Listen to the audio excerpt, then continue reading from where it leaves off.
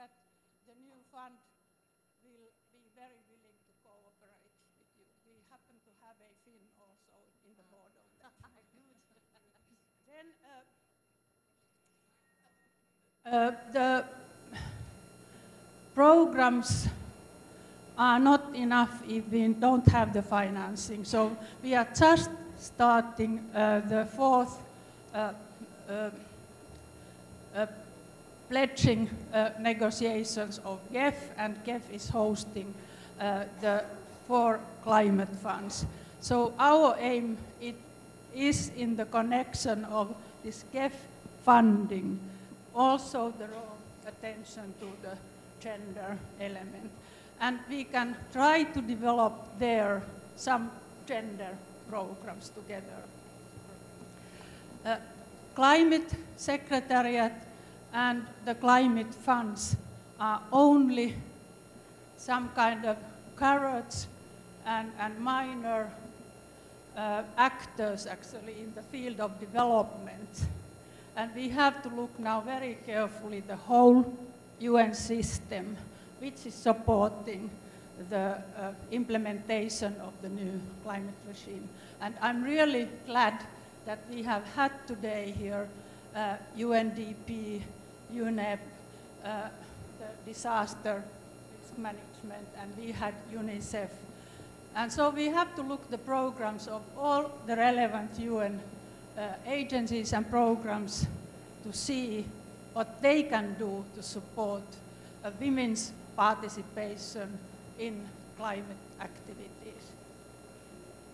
And we have also, all our governments have bilateral programs with developing countries.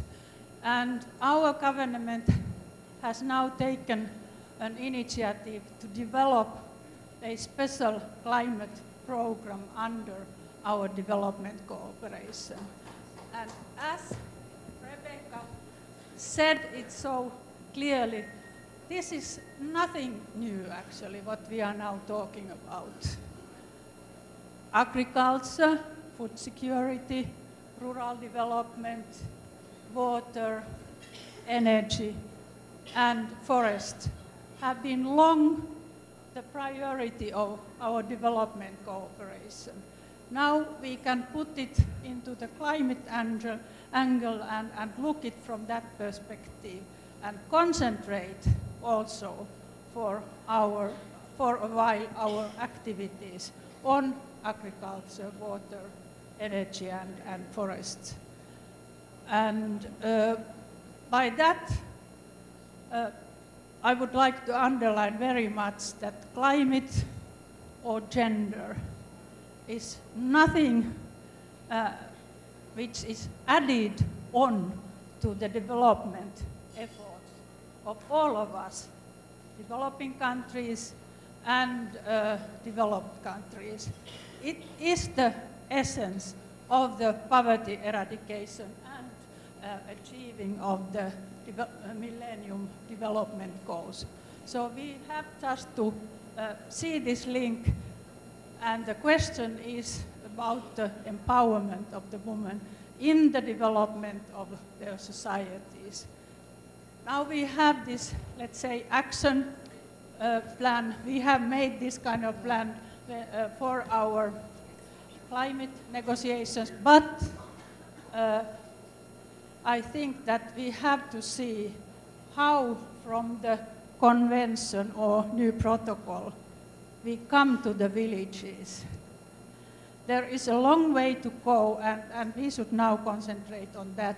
Uh, I think in the morning uh, the Secretary General of UNCTAD had already, was it 14 steps on the national levels, but we have to look very carefully now on the practical action on the uh, local development and there the empowerment of the women. By that, we can do also make the climate uh, action more effective. If women doesn't participate, nothing will happen at the local level that is the truth. Thank you. Yeah. Oh, thank you. Thank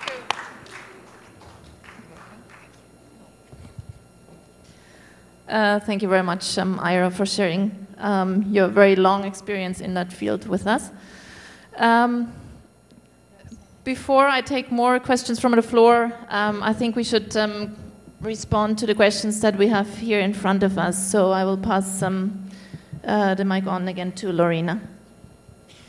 Um, one question says, since in development world we only emit half ton of carbon per year, and our environment is threatened with degradation and climate change, is there mitigation measures, especially for women, to offer credit to women to say plant more trees?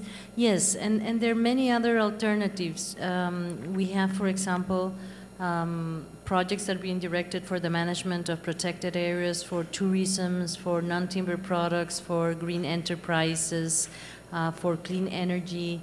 So uh, there are a variety of resources available uh, in the different countries and in the different regions to look at this. It's not only about planting trees, it's about doing a lot of adaptation uh, actions that will also have impact uh, in mitigation.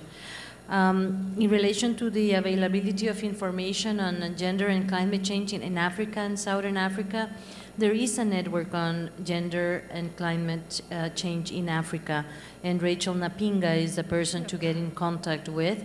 But we can also provide you some extra information through our uh, networks uh, of um, the institutions. Are there many different UN instruments uh, and how to help um, civil society uh, to use them?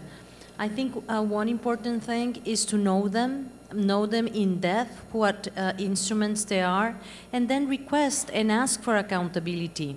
And not only the ones that are related uh, to climate change, but also those that are related to human rights and to women rights, and ask that they are um, taken into account in climate change. It's amazing.